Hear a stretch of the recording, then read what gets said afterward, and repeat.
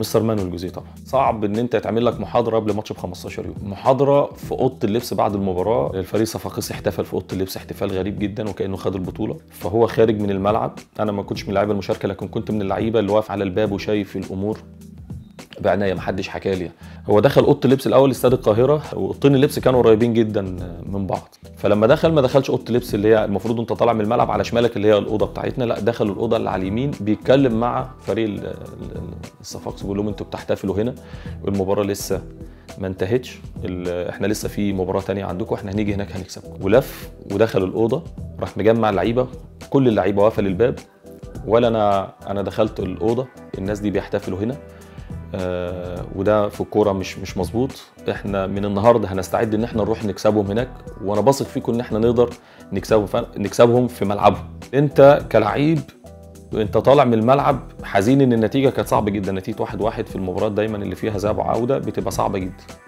إن أنت تطلع تشوف المدرب بتاعك عنده الحماس ده وعنده الثقة فيك إن أنت تقدر تكسب وتروح تكسب في تونس وكان المباراة في ملعب رادس وانت عارف ملعب رادس كمان ملعب كبير غير ملعب الصفاقس ودي يمكن من الحاجات الحمد لله اللي كانت خدمت النادي الأهلي بشكل كبير. ورغم الغيابات اللي كانت موجودة في الفرقة في التوقيت ده عماد النحاس كان مصاب وأحمد السيد كان مصاب ومحمد شوقي خد ال- ال- الإنذار. الثاني وبركات في المباراة دي. آه، كان مصاب لأنه كان راجع من إصابة ورجع بقى مصاب تاني. آه، وشوف تشكيل المباراة وشوف ال- الأداء اللي حصل وشوف ترتيب الراجل وتركيزه في خلال ال 15 يوم. وتوفيق ربنا في المباراة وتوقيت الجون وتوقيت المكسب. ورغم إن في المباراة دي دخل فينا هدفين والاثنين اتحسبوا تسلل. وتوقيت الجون نفسه إن أنت بعد ما المباراة بتنتهي في الدقيقة 92 أو 93 في في كرة طويلة من شادي وتتلمس مرة واثنين وتنزل على رجل آه، تريكا تقدر تجيب جون مكسب.